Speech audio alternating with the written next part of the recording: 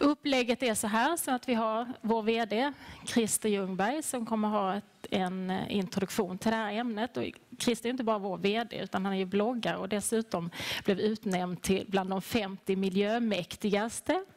Det är lite imponerande. Fastän vi är vissa som tycker att han skulle kunna få ännu mer makt och säga till om i de här frågorna. Eh, vi har sedan en panel med lite blandad eh, erfarenhet som kommer presenteras när de kommer upp. Eh, som vi kommer ha ett samtal med, med förberedda frågor, eller om mig förberedda frågor i alla fall. Eh, och sen på slutet så kommer vi släppa in några publikfrågor, helst inte inlägg utan frågor. Eh, så fundera på det om ni har något speciellt som ni sen vill, eh, frågor ni vill ställa till panelen eller eventuellt till Christer, om det passar. Välkommen Christer. Tack så mycket. Jaha, den här rubriken, ja, man sticker ut lite när man säger så här. Varför går vi inte mot ett hållbart sätt? För en del säger, ja men det gör vi. Eh, och då kan jag säga, ja det gör vi kanske, men det går alldeles, alldeles för sakta. Så att det kanske så, så man skulle säga det istället. I alla fall, så, så här har det sett ut länge. Alltså vi, hela vårt transportsystem bygger i någon mening på vår kärleksaffär med bilen. Och det har ju gett oss den här typen av strukturer till exempel. Eh, varje bil i USA beräknar man har ungefär åtta parkeringsplatser. Och när vi försöker skatta det i Sverige så kommer vi till ungefär sex. Det är inte helt lätt, men ungefär sex parkeringsplatser. Det där eh, beroendet börjar tidigt. Man, eh, redan när man är eh, liten så eh, vaggas man in i det här bilsamhället. Liksom. Man är rätt så rationell. Så att det, och när barnen blir lite större så kör vi dem till skolan för att de inte ska bli påkörda av andra som kör sina barn till skolan. Jag har själv gjort precis den och sen körde hem, ställde bilen och gick till jobbet. Så logisk kan man ju vara. Ja, Går vi då, eller är vi på väg mot ett hållbart transportsystem? Den här figuren har funnits i en, en mängd eh, olika versioner i olika statliga utredningar på senare tid. Och den tycker jag är så fantastisk. För här har vi våra mål. Eh, klimat, nu handlar den här om klimat, jag kommer att fokusera på det en stund nu. 2050 ska vi vara nere på noll utsläpp är ju lite försiktiga, men, men vi har sagt att vi ska vara så här duktiga. Sen har vi då ett antal beslutade planer. Och de, med dem så går vi åt det här hållet. Och jag kan liksom inte, jag fattar inte detta. Jag, jag känner mig faktiskt som ett ufo när, när jag ser den här bilden. Liksom, jaha, vi har mål här nere men vi beslutar om åtgärder som går åt det här hållet. Är jag då så korkad, tänker jag, liksom, som att, att det är på det här sättet?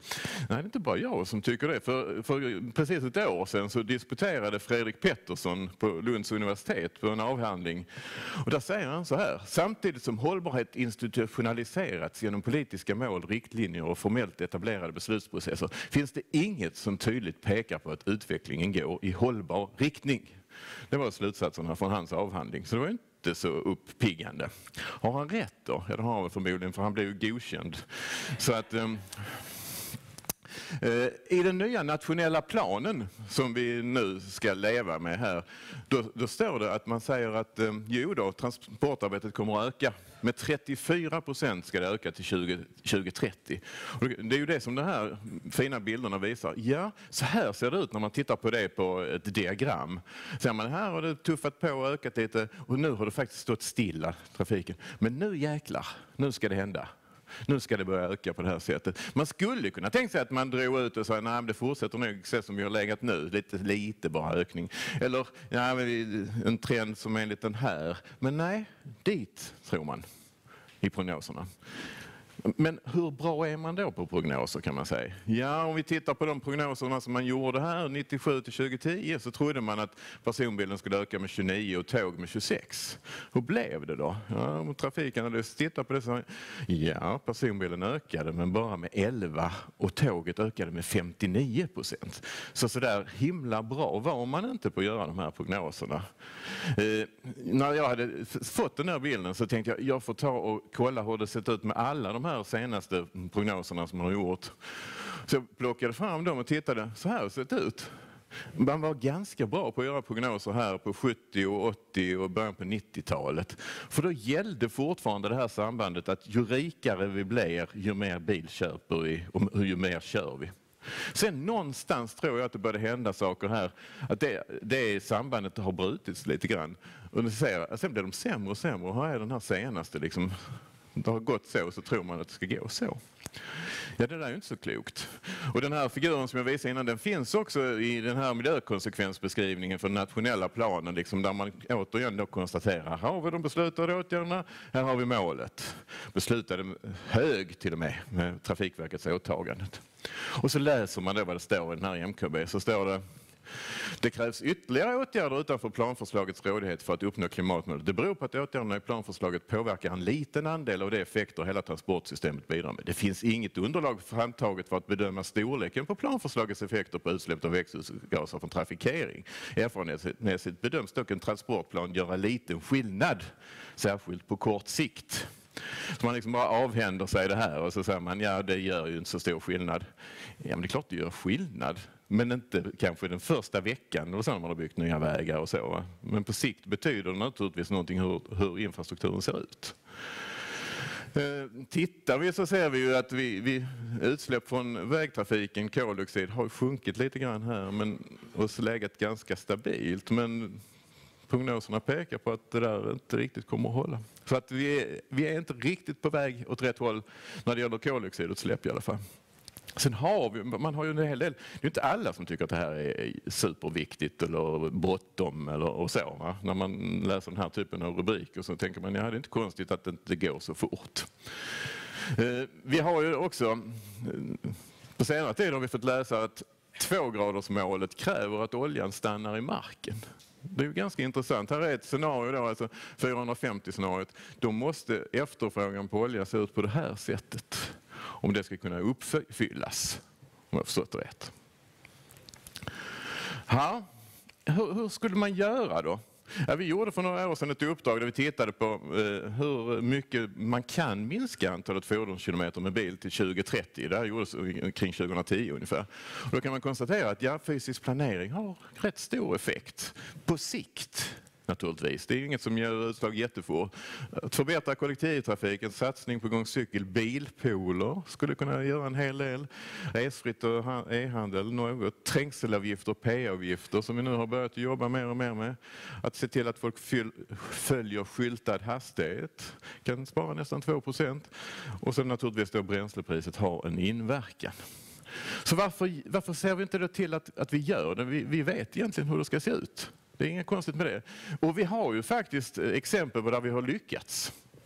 Nämligen nollvisionen, där vi har liksom satt upp ett mål. Jo, det är en vision och vi vet att vi kommer förmodligen aldrig att nå ända fram så att säga. Men den här har ju blivit så viktig för oss som en modell för hur vi ska tänka för att eh, gå mot eh, mindre trafikolyckor. Så att man då faktiskt har lyckats på det här sättet att eh, få ner olyckorna. Varför har vi inte en nollvision för klimatutsläpp för, från transporterna till exempel? Varför gör vi inte det då? Här är miljökonsekvensbeskrivningen ur den så kallade kapacitetsutredningen för några år sedan. Sammanfattningsvis är Trafikverkets rekommendation att vi bör arbeta för ett transportsnålt samhälle oavsett mål i klimatfrågan eftersom detta gör nytta även i många andra avseenden. För detta krävs en stabil politisk grund med en gemensam målbild samt att man utifrån denna genomför nödvändiga förändringar av styrmedel och regelverk. Okej, okay. Ja, det, det, finns, eh, även bortsett från klimatfrågan så är det smart att jobba för ett, klimat, eh, ett transportsnålt samhälle.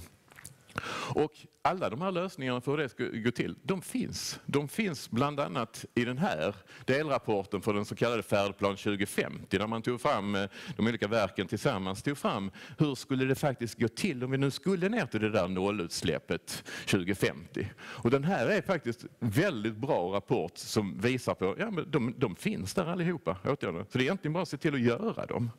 De innehåller lite olika delar eh, som mm, Trafikverket har visat i den här på, i, i andra sammanhang. Ni ser den här transportsnålt samhälle, energieffektivisering, förnybar energi och så har man nått lite kvar fossil energi här nere. Men det räcker inte med bara teknik som är här, utan det måste till det här beteendeförändringar med transportsnålt samhälle också. Det kan man säga, det, det, det kommer man fram till överallt. Ja, säger en del, men det kommer ju lösa sig så fint när vi får de här självkörande bilarna. Det löser ju i stort sett alla problem med trafiken. Jag vet inte om ni har varit på några av de här seminarierna här. Och vi inser att vi gjorde världens miss och vi har hållit på ganska mycket med de här. Så vi skulle också kunna köra ett sånt här seminarium och visat på både plus och minus som det faktiskt kan vara med de här. Men det finns ju en del eh, som hävdar att när vi får de här självkörande bilarna så kommer vi behöva så oändligt mycket mindre plats för våra bilar i städerna. För att då kan vi be bilen att köra ut och parkera någonstans till exempel. Vi kan trycka ihop, vi kan köra mycket tätare och sånt. Så att, liksom, och en del hävdar att vi kommer bara behöva kanske 10-15 procent av antalet bilar idag. För alltihopa kommer att vara en enda virtuell bilpool som snurrar runt ute på gatorna och så bara knappar man in och så kommer den bilen när man behöver den. Och det där är säkert alldeles tekniskt möjligt inom Eh, några årtionden så att säga. Va? Men när vi har kört eh, workshoppar och seminarier kring det här med forskare som har tittat på det här så säger de ja visst, man kan komma dit men de, de här självkörande bilarna, de, eh, när de blir förarlösa på allvar, som den här faktiskt ju är, den här Google-bilen, eh, då kan det börja hända sådana här saker. Men det händer nog inte förrän någonstans att de blir så pass många så det kan ge någon som helst effekt 2050 och det slår inte igenom förrän 10-15 år senare. Så någonstans där långt fram. Så vi kan strunta i det där just nu för ibland börjar vi få frågan nu, ja men måste vi bygga så här mycket parkeringsplatser här eller så för att det, det kommer ju inte behövas när vi får de självkörande bilarna. Ja, man kan vara lite skeptisk i alla fall. En sak som diskuteras ganska mycket idag är parkering. Där har vi ett, ett styrmedel som fler och fler kommuner faktiskt har börjat fundera över. Eh, parkeringsnormen, hur ska den se ut? Måste vi tvinga fastighetsägarna att bygga mycket parkering? Ja, det är dyrt. Att bygga eh, ett P-hus kostar någonstans 100 till 200 000 kronor per plats. Eh, att bygga garage som här under husen kan kosta mellan 200 och 500 000 kronor per plats. Det här skulle egentligen göra då att på hyran så skulle behöva lägga 1500 till 2000 kronor per månad eller kanske 2,5 till 4 Det kan man inte göra. Så gör man inte heller. Så istället betalar kunden någonstans 700-800 kronor i månaden för parkering. Så man betalar inte alls egentligen det det kostar. Och många, på många ställen är det så att även de som inte har bil och som bor i det där huset är med och, och betalar den här kostnaden som egentligen borde varit mycket högre. Där har vi ett styrmedel som vi kan fundera över och fler och fler kommuner gör det faktiskt idag. Ja, men våra nyregistrerade bilars utsläpp blir väl bättre? Ja, det blir de ju. Och Sverige låg ju länge ganska risigt till, kan man säga. Men har sedan eh, ganska snabbt eh, kommit ner på mer europeiska nivåer. Men lite bekymmersamt eh, tycker en del att det, är det här börjar plana ut igen, den här kurvan. Så de senaste åren har det inte varit samma goda minskning där, så att säga. Något som vi pratade om här i förmiddags eh, som vi tror eh, kommer att påverka transportsystemet väldigt mycket mer än de självkörande bilarna. Det är det här med transport som tjänst. Ehm, där vi istället abonnerar på rörlighet helt enkelt. Och vi har länge jobbat nu med ett eh, koncept som vi kallar för Easy to be, som när vi knyter det här till bostaden och man ska kunna då i hyran istället för parkeringsplatsen så har du istället den här transport som tjänst. Och det kan vara att det ingår bilpool och det ingår kanske Eh, någon kollektivtrafikkort och det, det ingår eh, eh hemkörning av varor etc. Ett helt koncept som du själv kombinerar ihop. Så att det där tror vi på sikt kommer att bli någonting ganska betydelsefullt, det här med transport som tjänst. Och att det går att påverka det här. Vi är lite stolta att vi har varit med och räddat eh, nattåget faktiskt från Malmö till Stockholm Eh, SJ kom ju och sa att nej, vi måste lägga ner det för att eh, det åker så lite folk så att eh, det går så mycket back för oss så vi har inte råd. Och så tog vi, samlade vi ihop eh, eh lite olika aktörer, både företag och offentlig förvaltning och så åkte vi upp till SJ och så pratade vi med dem och så sa ah, okej okay, då, så ni, ni får ett halvår på er och så får ni se till att eh, resandet börjar öka. Ja, så gjorde vi det och det ökade väl lite men inte så som vi hade väntat oss. Och så tog vi ett nytt samtal med SJ och så, ja, okej okay då, ni får väl eh, lite till. Och så förlängde man ytterligare en sju, åtta månader och så. Och då har det faktiskt börjat hända saker nere i Skåne. Så att eh, idag numera går de med vinst igen, de här nattågen. Och SJ har sagt att ja, vi kommer att fortsätta köra dem. Och det är vi väldigt glada för. För nattågen ute i Europa har legat mer risigt till. Det har ju lagts ner flera linjer faktiskt. Men det går faktiskt och det var kul. Efter samarbete med många olika organisationer som engagerade sig i det här med nattåget så, så plötsligt kan vi som ju gillar detta eh, kunna stiga på tåget i Malmö på kvällen och stiga av i morgonen tidigt i Stockholm och ha en hel arbetsdag i Stockholm fortsätta att göra det. Så visst, man, ibland lyckas man eh, påverka trots allt. Så vad är det vi kan börja göra då? Ja, för att gå mot målen. Ja, jag tror att Sveriges ambition att faktiskt gå före är ganska viktig. Att Sverige kan vara ett föregångsland i det här sammanhanget är viktigt. Vi behöver goda förebilder. Vi hörde det här i förmiddags också när kommunerna tittar på varandra. Så är det väldigt viktigt att det finns kommuner som går före.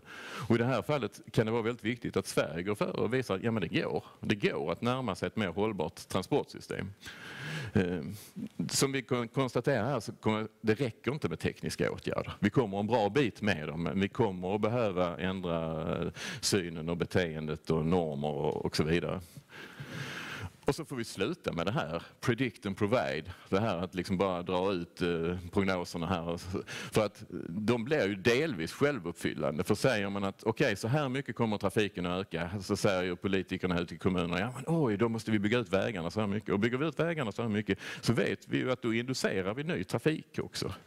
Så att vill vi någonting som de här målen vi faktiskt har så ska vi målstyra istället för prognosstyra. Och vi har faktiskt en fyrstegsprincip som det är sagt att vi ska jobba efter. Och faktum är att i, i Trafikverkets senaste regleringsbrev så har det faktiskt ordet hittat in igen. Det var försvunnet under väldigt många år. Eh, innan stod det nämligen att de skulle jobba efter den här, att först försöka påverka resandet med olika eh, beteendepåverkansmetoder innan man börjar bygga ut att jobba med backcasting, som ju egentligen är det här liksom att titta på målet och sen utifrån målet gå tillbaka och se vad behöver vi då göra för att komma dit och så vidare.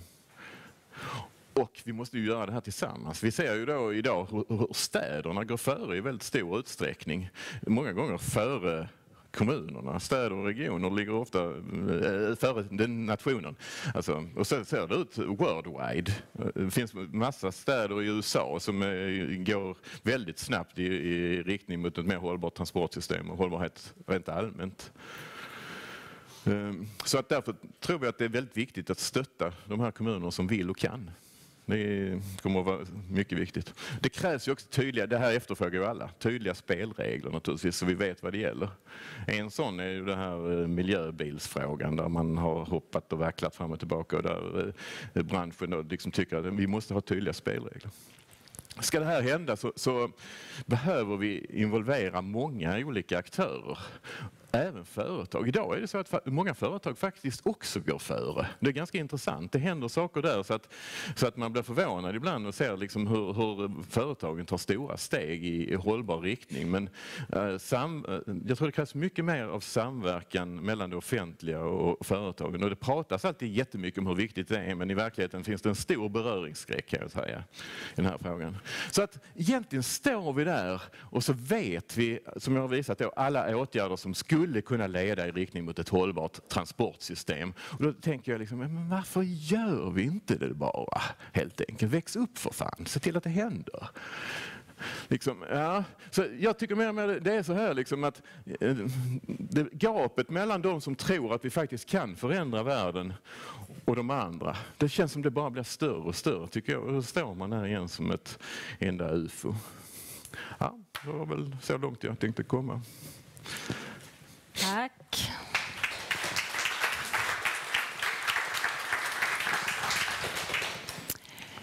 Då ska vi be panelen komma upp. Eh, och då har vi Mikael Stamming, utvecklingsdirektör i Region Skåne. Maria Gardfjell, kommunalråd, Miljöpartiet i Uppsala. Jeppe Larsen, VD på Move by Bike. Där var du. Eh, Markus Karlsson Reich som är biträdande chef på uppdragsavdelningen på Naturvårdsverket.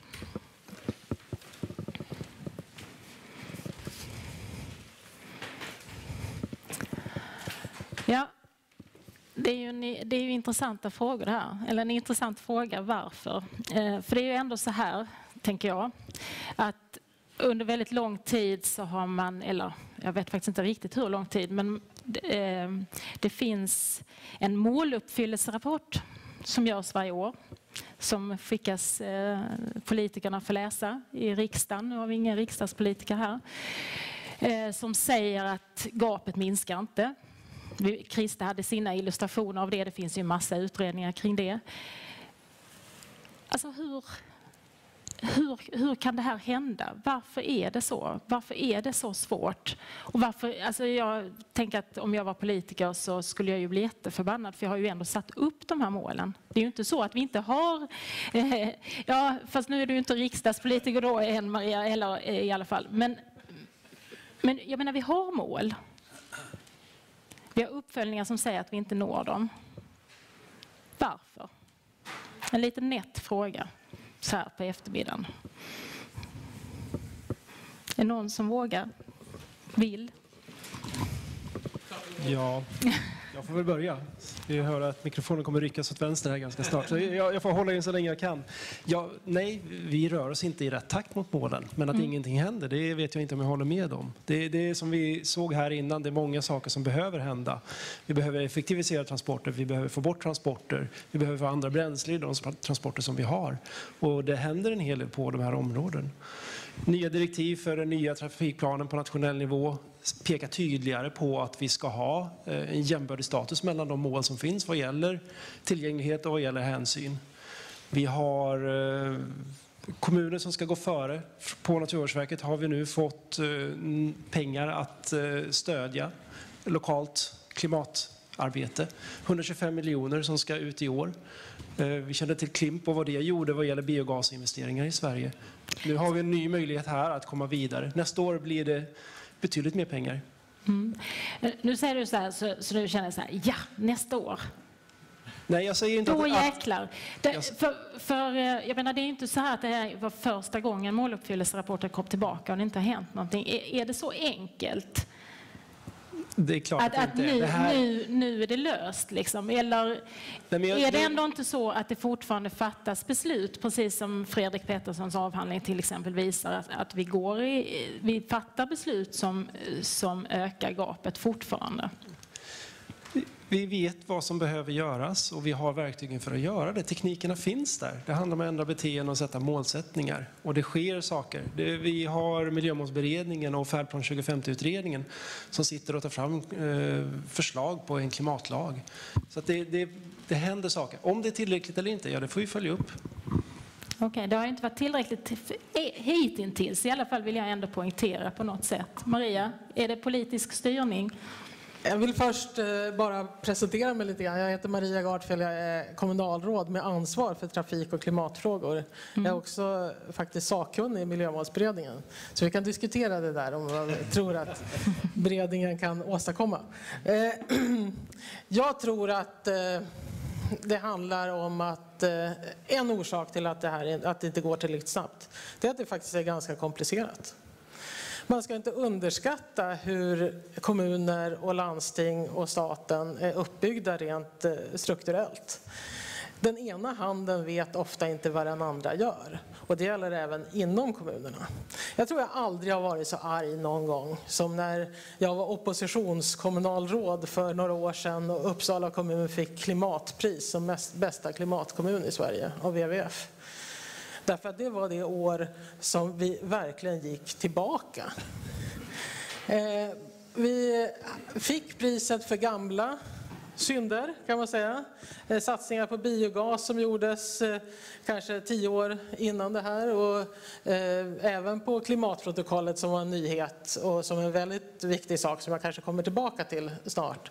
Men faktum var ju att vi samtidigt, just de här åren innan vi fick det här priset, hade fördubblat antalet externa köpcentrum och satsat väldigt mycket mer på planering av bilväg. Mm.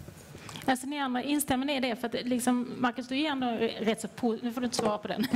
Men, men, du är ändå rätt så positiv bild och vi har ändå, alltså, nu har du några konkreta exempel Maria, det, det, det, det ju, finns ju andra sådana exempel också där vi går bakåt. Är vi, är vi för milda i vår kritik till var, var vi inte går? I rätt, tillräckligt snabbt i rätt riktning ska jag trots allt tillägga. Ja, alltså det är klart att vi går åt Eh, sakta, sakta. Det går alldeles för långsamt. Och jag känner ibland, eh, lite som du, att den ena handen vet inte vad den andra gör. Eh, och vi har ju väldigt starka bevarandeintressen som på några sätt är väldigt viktiga. Men det finns ju också då egendomliga exempel. Låt mig få ta två. Då kommer jag ta dem från min hembygd, Skåne och staden Malmö. Eh, när Öresundsbron byggdes, så efter en tid, tio år, så byggdes Citytunneln. Och I samband med att den kom till så skrevs det ett avtal att den gamla järnvägen till Trelleborg och eh, Öresundsbron, den så kallade kontinentalbanan, bara skulle få trafikeras med godståg. Och efter en tid så konstaterade då Malmö stad och vi i Region Skåne, vi är ett landsting eh, men vi har också utvecklingsansvar och vi har kollektivtrafiken. Ja, men det här skulle vara kanon att köra eh, tåg i en ringlinje med Citytunneln och på den gamla kontinentalbanan. Det innebar att vi skulle få fem minuters trafik från en av de mest segregerade områdena i Sverige, Rosengård, till de täta, spännande miljöerna i centrala Malmö. Och allting faller ut på att nej, därför att det finns bevarandeintressen och miljöintressen som tycker då att för man in persontåg på en godstågsbana, då ska persontåget betala alla bullerskydd. Det är en absurd. För alla som har gått vid en järnväg och lyssnat på ett godståg och ett persontåg uppfattar ju att godståget normalt bullrar mer. Alltså har vi inte den här möjligheten till social integration i en, i en, i en stadsmiljö. En annan som jag vill komma till är ju det att eh, hälften av vår välfärd Alltså varannan lärare, varannan sjuksköterska betalas ju via exportintäkter. Exportindustrin behöver få ut sina varor. I Skåne så har vi Södra stambanan som drar ner mycket av eh, skogsprodukter, går genom Skåne och så hamnar man i hamnar och broar. En bro än så länge. Ha, då vill vi ha fyra spår mellan Malmö och Lund för att kunna utöka persontrafiken, för att minska bilanvändningen, öka godstrafiken på järnväg för att minska långtradartrafiken då ligger det ärendet i år efter år efter år efter år i Miljööverdomstolen för att man ska bygga två spår till fyra. Mm. Så att det finns väldiga konstiga eh, bevarandeintressen och regelverk som inte tar hänsyn till de målen. Mm. Okej. Okay. Eh, Jeppe, ett annat perspektiv på detta du jobbar med Move by Bike eh, som alltså transporterar varor på. Det är helt andra saker än vi normalt pratar om, om vi pratar järnvägsgods. Eh, då. Ja, vad är ditt perspektiv på den här frågan varför det går så långsamt och hur upplever du det? När jag berättar om eh, Move by Bike så första de säger, han är cykelbud som, som kör små paket. Så jag tror att ett av de stora problemen är att det finns det är för få som känner till potentialen i lastcyklar och elassisterade lastcyklar för att, att lösa problem och ersätta bil, bilresor. Det, du nämnde miljoner som gick åt rätt håll, men samtidigt har vi de här miljarderna som, som läggs på förbifarten och Österleden är kanske på gång. Och vi behöver bygga infrastrukturen för cyklingen för att den ska komma och, och du måste, fler måste känna till att det, att det finns riktigt bra lastcyklar som, som våra som lastar 250 kilo och inga problem att åka två mil om man behöver åka så långt. Men de är självklart bäst in i städerna. Och, ehm, så där, sats, en... där, saknas det helt enkelt satsningar. Mm. Eh, lite som, eh, som eh, Mickes fråga, eller kommentar kring järnvägen där. Men kan inte jag få kommentera just mm. det? Därför att det här är ett område där vi i Uppsala har tagit ett helt nytt grepp. Vi har nu eh, bestämt oss för att Uppsala ska kunna bli Sveriges bästa cykelstad. Och det är inte bara som en slogan, utan det är på allvar. Och jag tycker nu att man behöver gå hem till alla kommuner och titta på hur stor andel av eh, satsningarna i de pengar som går till gata, väg, eh, park går till cykelvägar i era respektive kommuner. Och sen jämför jämföra det med Uppsala för att se att det finns faktiskt en kommun i landet som eh, proportionellt nu satsar väldigt mycket på cykelvägar och tänker bli Sveriges bästa cykelstad.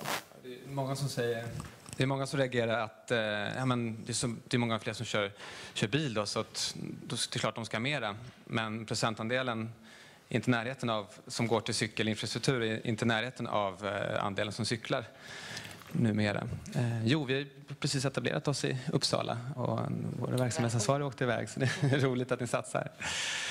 En annan, ett, eh, om jag, eller hade du någon kommentar där Marcus? Du Nej, men jag tycker det är roligt. Det är mm. den typen av goda exempel som behövs. Vi, vi pratar om vi måste minska biltrafiken med 80 procent eller utsläppen med 80 procent. Det är ingen positiv historia att berätta. Det är klart man inte vill arbeta mot det. Vad, vi ska berätta historien att vi ska skapa mm. ett bättre samhälle där alla får det bättre. Vi får fram de transporter vi gör. Vi kan förflytta oss så som vi vill göra. Mm. Men vi mår bättre. Vi får mindre buller, vi får grönare ytor, vi rör på oss mer, får bättre hälsa därigenom. Så det finns så många andra fördelar som man behöver lyfta in i i de rum där besluten fattas. Mm. Du, eh, nu leder du mig fantastiskt in på min nästa fråga här, eh, att uppehålla oss vid. Innan idag så fick Malmö pris eh, i, i vår eh, ranking Systemskift 2015. Eh, och en av de sakerna som han lyfte fram som en av anledningarna till Malmös framgång var just det här med storyn. Ehm, och då handlade det om deras story från industristad till kunskapsstad eh, främst. Och nu står man ju här och så tänkte jag när han sa det, ja vad är, vad är Malmös nästa story idag? Och inte bara Malmös, vad är eh, Sveriges transportsystems story? Och hur betydelsefull tror ni den är? Att vi kan, du sa här, hur vi kan göra den positiv. Hur betydelsefullt är det för den här frågan? Varför går vi inte i rätt takt? Otroligt viktigt som jag, som jag ser det i alla fall. Vi har, tittar vi på innovationen, vad, de lösningar vi behöver ha på plats, så är det individer som driver det. Och det, det finns redan på plats, vi har lösningar.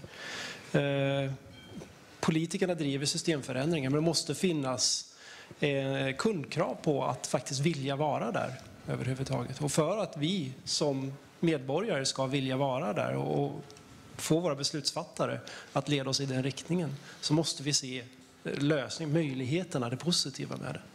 Mm. Micke? Storyn är det mesta. Alltså, ingen kan komma ifrån att vi har haft en berättelse om folkhemmet. Vi har haft en berättelse om nollvisionen. Mm. Vi har haft en berättelse om det och det. Och det måste finnas en berättelse som går in under huden så att det faktiskt berör oss som individer, inte någon annan. Eh, så att vi pekar på något att ja, men det får de fixa, politikerna får fatta beslutet och de ska göra det och den ska göra det. Nej, det ska vara en berättelse som berör mig och mig och min vardag. Den berättelsen saknas. Mm. Varför har vi inte den berättelsen än då? Det, det, är mitt språk. Eh, ja, nej, jag, jag, ser ju, bilen har alltid varit en eh, central figur i filmer och romaner och allt det här. Och det, frågan är hur kan man få in eh, bilpoolen, cykelpoolen?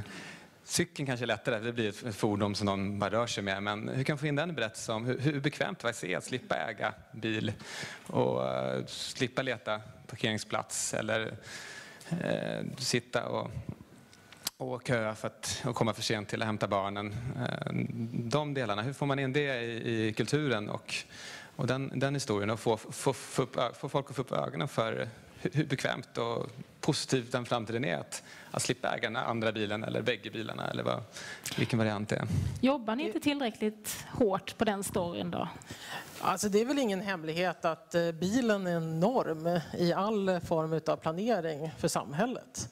Eh, det har det nu varit sedan eh, 50-60 år tillbaka och eh, den är tyvärr fortfarande det. Och det är ju en, kamp varje dag som miljömedveten politiker att faktiskt ändra den här bilden. Jag måste säga att jag tycker att det som Christer tog upp kring den här det som är den största fällan för oss politiker, det är prognoserna. För varje gång som eh, våra tjänstemän tar fram prognoser eh, när det handlar om att bygga nya stadsdelar eller sådana saker så visar man helt plötsligt att vi behöver öka bilanvändningen med 30 procent. Och det är någon slags eh, siffra som kommer från Trafikverket. Jag vet inte. Men, men den, den stämmer ju inte om vi vill bygga en hållbar stadsdel med där 25 procent eh, av bilinnehavet kanske är bilpooler eller, eller där vi vill öka cyklingen eller där vi vill öka kollektivtrafiken, där vi vill satsa på spårväg. Eh, med mera. Det är ju, då kan ju inte de där siffrorna längre stämma. Men det handlar så väldigt mycket om kartbilden. Att man är van att planera bilvägar på kartan och inte att man är van att planera korta restider på kartan. Det är den bild som vi måste ändra på. Och jag tycker man har, har lyckats i kollektivtrafiken på många ställen i världen och även i Sverige där man, där man utifrån tunnelbaneperspektivet planerar eh, kartbilden. För att då blir den ju logisk för människor. Men om man ser den geografiska kartan så kan ju en sträcka mellan två punkter vara väldigt kort och ta en genväg, en bilväg över. Men det kanske går mycket snabbare att åka en buss eller spårvagn eller tunnelbana en omväg egentligen. Mikael, du ville säga något? Ja, jag tror att det intressanta just nu det är ju att oavsett om vi vill det eller inte så har vi en urbanisering. Och om vi inte ska ödelägga alla våra jordbruksmarker runt städerna så kommer vi att behöva prata om förtätning. Och då är det ju så att förtätningens fördel är ju faktiskt att avstånden mellan de olika punkterna för ganska många människor blir kortare. Och då tror jag att cykeln kommer att vara jätteviktig. Men jag tror också vi måste ha respekt för att alla kan inte cykla. Det är, vi har olika handikapp av olika slag och ibland är vädret emot oss. Och då kommer kollektivtrafiken att vara en viktig del i systemet. Och därför är det ju glädjande att vi ibland har Eh, experiment, får man väl kanske säga det. Som till exempel när Malmö stad bestämde sig för att vi tar bort ett körfält på en viss genomfart därför att vi vill att eh, Region Skåne ska köra en helt ny buss där. En hybrid som går på biogas och batteri som heter Malmöexpressen. Sveriges längsta buss för övrigt. Eh, och eh, den har också den effekten att biltrafiken minskar ju per automatik eftersom ett körfält försvinner. Allt fler åker kollektivtrafik som är demokratiskt och jämställt och miljövänligt och dessutom integrerande eftersom den går då ifrån en av de här segregerade områdena till den häftiga Västra hamnen. Så att, eh, det behövs lite sådana här eh, våghalsiga experiment. Ingen skulle ju betrakta det som våghalsigt att bygga ett externt köpcentra. Men hur får vi dem in i staden så staden blir levande? För att har vi externa köpcentra så kommer alltid bilen vara nyckeln. Så att, eh, nu, nu har ni på lite olika sätt, ni, ni ehm, tar ändå fram en del positiva delskärvor till en eventuell story. Om det då var någonting som ni allihopa tror är viktigt. Eh, men om, om vi funderar på liksom man istället säger så här, varför, om vi står här om tio år och vi har lyckats med någon slags liksom storskalighet närma oss målet. Eller så står vi här om tio år och, och har precis samma diskussion igen, precis som vi hade för tio år sedan. Eh, förutom att det kanske då har kommit en del nya grejer. Men varför kommer vi om tio år att stå och ha lyckats? Får jag svara? Jag tror att eh, om, eh, det, det kommer inte ens dröja tio år innan Uppsala kan ha chans att vinna det där priset som Malmö fick här tidigare idag. Eh, och jag tror att det kan bero på eh, några saker. Dels saker som händer i Uppsala men också saker som händer i, i, i Sverige. En av de sakerna som kommer hända i Uppsala det är en, det är en hit kan jag säga. Eh, och då pratar jag om hållbara interna transporter som är ett nytt eh, projekt som vi precis har startat i Uppsala eh, där man ska titta på hur man faktiskt kan transportera människor och gods och varor tillsammans i, i, i kommunalen, eh, i, i kommunen helt enkelt. Jag tror det behövs många sådana innovativa eh, satsningar, idéer, tester för att se hur tänker vi nytt, hur tänker vi på annat sätt. Och det är ett företag som heter Freeway som vi jobbar med när det gäller det här. Eh, jag tror också att vi har kommit mycket längre när det gäller infrastrukturpolitiken i Sverige. Vi har faktiskt eh, kommit över den här tröskeln att infrastrukturpolitik är något slags regionalt eh, ansvar som regionpolitiker som inte är intresserade av hållbara städer håller på med. Det är det som är det stora problemet i stora delar av landet, ska jag säga. Att hållbara städer finns inte med på den regionalpolitiska agendan. Det är, det är en av mina största eh, eh käpphästar faktiskt just nu. Eh, det innebär att vi i infrastrukturpengarna som kommer från staten också kommer satsa på spårvagnslinjer, vi kommer satsa på snabba kollektivtrafiklösningar i städerna. Och det är en av nycklarna för att faktiskt nå framgång i det här. Sen så får jag bara lägga till en liten sak till. En, ytterligare en sak som gör att vi eh, kommer att nå framgång det är en, en bredare samverkan mellan eh, den offentliga sidan och företagen. I Uppsala har vi något som heter klimatprotokollet som är en, en, var faktiskt en orsak till att vi fick det där klimatpriset en gång i tiden. Eh, och eh, en orsak till att vi går väldigt mycket framåt nu. Vi gör tillsammans med de stora och även med små företag i Uppsala en gemensam klimatfärdplan där vi på, konkret gör förändringar tillsammans där många av företagen och kommunen själv har börjat satsa på cykelvänlig arbetsplats. Vi har eh, identifierat eh, nyckelfrågor kring gemensamma godstransportlösningar och så vidare. och så vidare. Här kommer det behövas pengar, så vi är väldigt glada över de här nya Klimppengarna som finns. Ja, ni andra, Marcus, varför tror du att vi antingen står, du får välja, antingen står vi här om tio år och har lyckats eller så står vi här och har samma diskussion en gång till? Ja, jag tror nog tyvärr att vi kommer stå här och ha samma diskussion. Tio år är ett kort mm. perspektiv i de här frågorna, absolut. Eh, vad jag sa i början var för att balansera lite grann introduktionen. Jag, det är mycket goda exempel som händer, men på det stora hela så syns det ju inte i statistiken mm. än så länge. Eh, jag skulle kunna dra vilka styrmedel vi skulle föreslå nu, så som vi gjorde, hade kunnat göra för tio år sedan också, som fortfarande inte finns på plats, som skulle behövas utöver det som redan finns idag. Men jag tror som ni säger att skillnaden om tio år, om vi ska vara någonstans, det är att vi har exempel på lokal och regional nivå där vi ser att det, ja, men mitt liv blir bättre om jag inte använder bilen varje dag. Det finns en lösning som ger värden och som ändå låter mig röra mig på det sättet som jag behöver och vill göra. Mm. Nu har tiden kommit för att ta in någon publikfråga.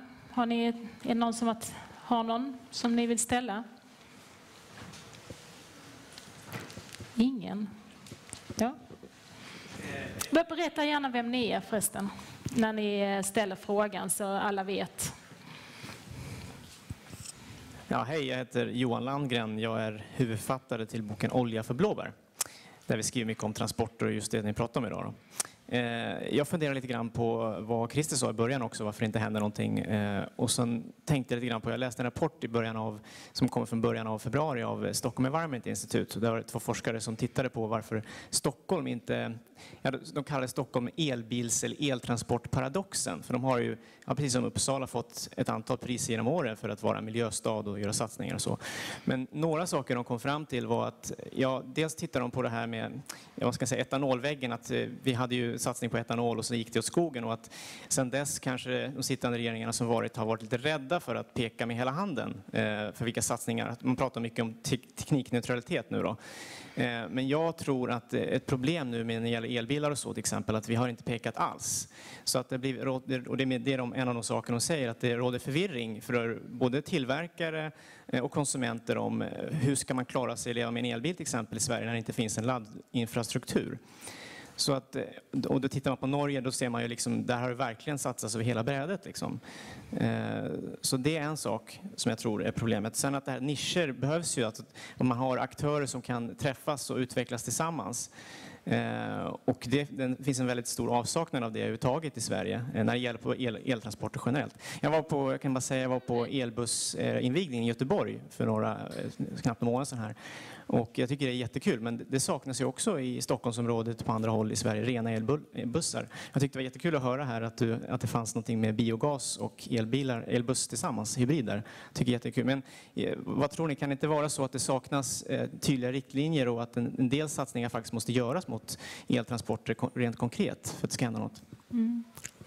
Mikael, har jag gett? Jag kan börja. Jag håller i micken. Okay. Jag vinner. Du, du håller... Okay. Jag håller med. med. Både och kan man väl säga. Jag tycker, skulle vi byta ut alla bilar i Stockholm mot Teslor så skulle vi fortfarande ha trängsel som inte är särskilt trevlig. Det är svårt att peka på en tekniklösning och säga att det är vägen vi ska gå mot målet. Tack. Eh, jag tror att det är bättre att vi sätter målet och sen så får man hitta de lösningar som finns längs vägen. Jag tror inte att alla lösningar som vi har idag är de som kommer leda oss mot målet 2030. Det kommer andra saker längs vägen. Eh, å ena sidan. Å andra sidan så har vi det här lokala klimatinvesteringsprogrammet som precis har initierats. Där en eh, laddinfrastruktur kommer troligen vara en ganska stor portion av vad, vad pengarna kommer gå till, antar vi. Så det, det finns möjlighet att utveckla sånt som behövs. Jag tror att du har helt rätt. Det går långsamt och det går splittrat. Eh, men vi försöker i alla fall prova. Vi har ju då den här hybriden som jag pratade om. Vi har trådbussar i Landskrona. Hela, el, eh, hela bussnätet Ängelholm är elbussar. Så vi måste testa, vi måste pröva nytt. Och jag kan bara säga att ibland är vi lite fantasilösa. Vi skulle funktionsupphandla mera. Vi skulle vilja att man kan transportera varor och personer från A till B. Och så strunta i om det är bussar eller om man ska beamas eller om det är spårvagnar eller linbanor. Så får vi se. Det måste finnas massor med personer som håller på att fundera på det här. Då kan vi frigöra oss från det gamla oket. För vi lever i ett ok där 99 procent av all infrastruktur är byggd.